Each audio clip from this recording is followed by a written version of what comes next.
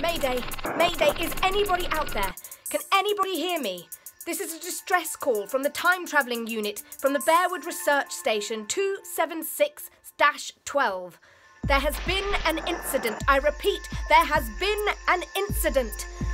The experiment has become unstable and we can no longer contain the energy field. My colleagues and I have been sucked through the time vortex and we are now adrift in time. I repeat, we are adrift in time. I have no idea where in Bearwood's past we have come, but all I can say is that we are certain we are no longer in the year 2317. Hello? Hello, is anybody getting through? Operator, are you picking up our signal? Hello? Mayday! Mayday, can anybody hear me? Hello? Hello?